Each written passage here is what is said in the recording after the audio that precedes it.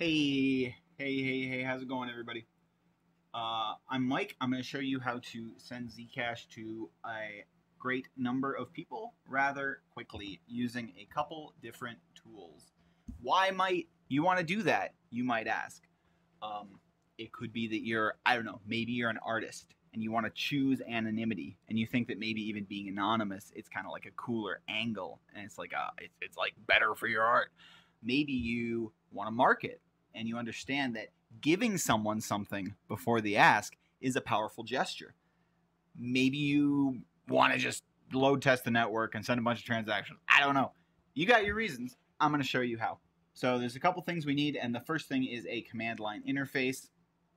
Here we go. I'm going to use the command line light client from zecwallet.co.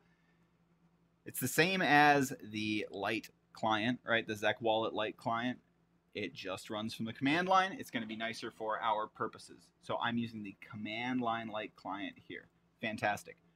Uh, I'm running it from Git Bash in Windows. We'll talk about why in a second. Um, and we also need a list of addresses to send Zcash to, which thankfully there's an app for.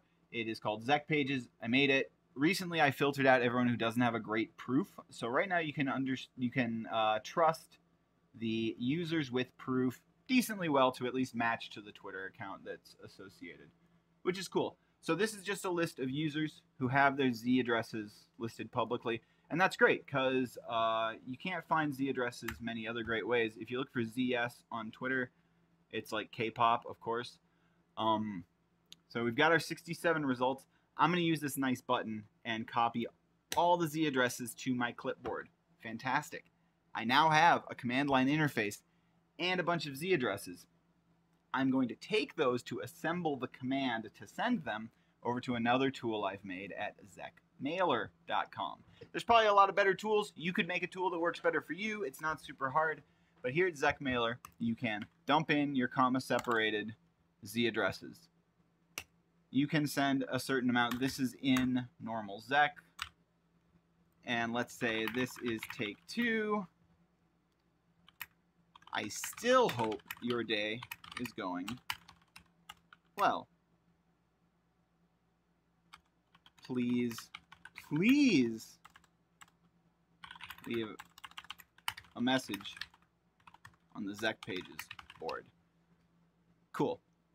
And now I'm going to click Generate Light Wallet Send Command.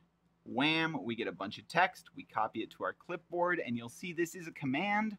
We're going to send it from our command line interface. It's going to run this program, and then it's going to send this command, which is formatted for you. But, um, you know, it never hurts to double check. So I'm going to send that here. Wham. We do a big paste. We send it. And this will build really quickly because this wallet is already uh, synced. Things should be fine. Uh, so let's talk about some things while that builds. That'll take a hot minute. So I'm using Git Bash here on Windows. Windows command lines have a character limit of like 9,000 for like no good reason, I don't think. Um, so if you're not on Linux or Apple, if you're stuck on Windows, I'd recommend just grabbing Git Bash and using that, or Windows Subsystem for Linux is probably fine too. I haven't used that. Uh, let's talk about the metadata leakage here, uh, specific to this transaction. The biggest thing going on here that you should be aware of in terms of metadata leakage, this is what it's going to look like. This is an identical transaction in a block explorer. This is Zecmate. It's a good block explorer. And we see it's good, it's good. We don't see any of the details in terms of balances or where things were sent, but we do see 63 shielded outputs.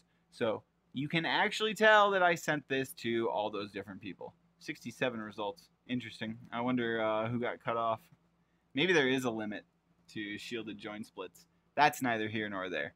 So while this grinds away, I'm asking people to post to the board. This is a Zcash powered message board, and that's the other issue of metadata I wanted to talk about, which is in general, the addresses I'm sending to and the amounts should be hidden because the wallet right here, this wallet that's building this transaction is actually this message board wallet. It has a public view key. So if you use this view key, you can see this transaction that I'm building and sending. Um, just something to note because I mean, uh,